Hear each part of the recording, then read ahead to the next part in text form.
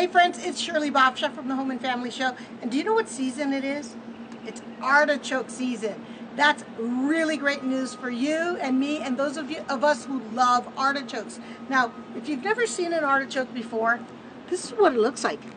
This is the fruit harvested and cut from the plant with about a two inch stem. You can grow a artichoke plant in your in your yard. You don't have to even put it in the ground if you use extremely large containers.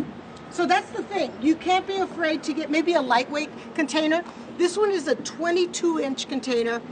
Ideally, 24 inch container is perfect. The reason for that is that you need a large root area in order for the roots to grow and establish.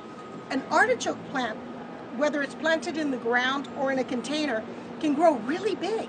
It will be anywhere from five feet round. You can imagine, so it'll kind of be about this big to about four feet high.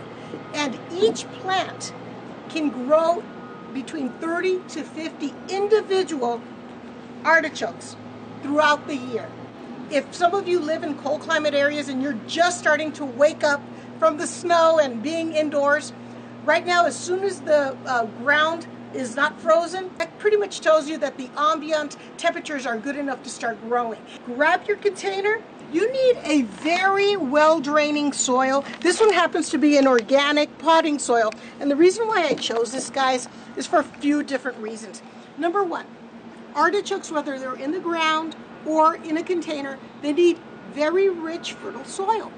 And maybe in the past where they grew in the hillsides, in the rocky hillsides of the Mediterranean, they didn't have very rich soils, but a lot of the plants that have been cultivated for us to buy and to grow, they do require very rich soil that has nutrients. And so this one here this best has the nutrients, and I like the fact that they're organic nutrients, which makes them very, very mild. Sometimes when you have an enriched potting soil, the problem is it does have fertilizers in it, but sometimes those fertilizers are way too strong for young plants. So this one is good. Another thing you want to look for for a soil for your artichoke, it's got to be really well draining.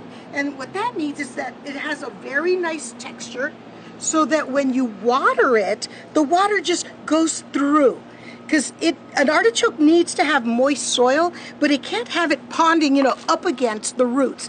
That is going to kill it. So this has pumice in it. Another thing you want to look for in your soil blend for your artichoke is you want to make sure that it has some type of ingredients that will help retain moisture in the soil. Now, most potting soils have peat moss, which is excellent, but here's the caveat.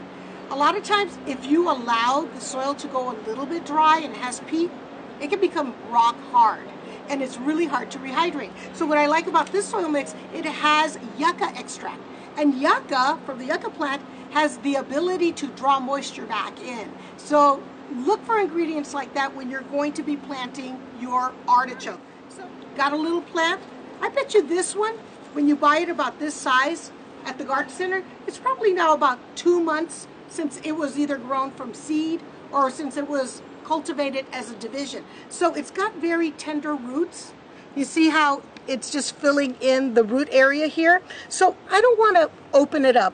That's for a more mature plant. So what I'm going to do is I'm just going to put it in here and I want to plant it so that this is going to sit at the same height that it was in its container. So just like this, I'm going to pot this up and then you water it something really, really important with your artichoke plants is that, again, you want to make sure it never dries out. But that doesn't mean you're going to waterlog it, all right, guys?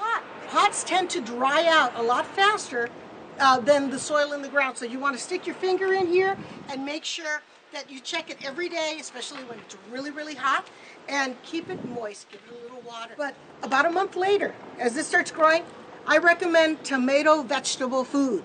This is, happens to be a great blend that has the perfect amount of nitrogen, phosphorus, potassium, everything for this to grow. Well, if you plant it in the spring, it will start to give you your first harvest six months later or in the early fall. If you're in a cold climate and you plant this out in, in uh, the spring, you let it grow through the summer, you give your yourself your vegetable in the fall. What you want to do though, at that point, it's going to be about this tall, big. you're going to want to cut it down to about maybe about uh, five, six inches. Uh, and then what you want to do is throw some mulch in it, give it a little blanket, especially if it is a snowy area and it gets really cold, and then put it in your garage. Let it overwinter there with a blankie and nice and nice and warm. And then in the spring, as soon as the sun comes out and the birds are singing and you're ready to garden, then drag it out, put it in a nice sunny spot, start the watering regimen, and start fertilizing it. And guess what?